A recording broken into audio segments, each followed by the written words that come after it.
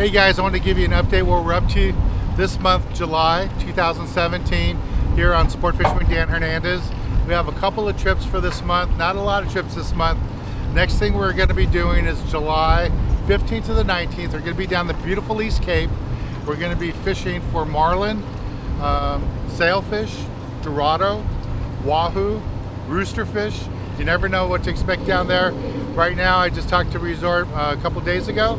They're catching lots of tuna and dorado, and they have some billfish in there too.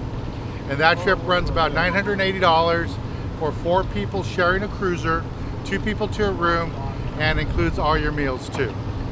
Now the trip after that is a twilight trip aboard the Enterprise. That's going to be leaving out of Pierpoint Landing in Long Beach, California, and that's $55 a person. So if you want to go, go to the website and sign up for that. We only have 40 people going on that boat, and that trip always sells out every year. So sign up soon if you want to go on that trip. It's the only twilight trip we do, and uh, that's going to be the one. That's going to be on the 22nd of July. It's a Saturday.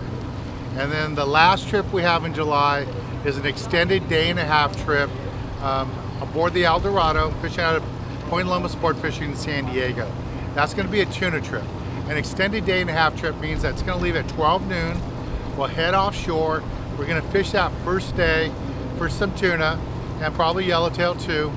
And then we'll fish till dark and then we'll get back in and we'll head straight out.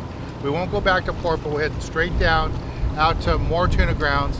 And then we'll start fishing at daylight the next day and fish till sunset.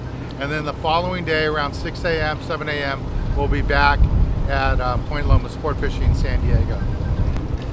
So that's our schedule for July 2017. We have a lot more trips this summer and we have trips all the way into November. And once we get in that time of year, we'll be doing lobster trips too. For more information, you can always go to our website at sport-fishing.com.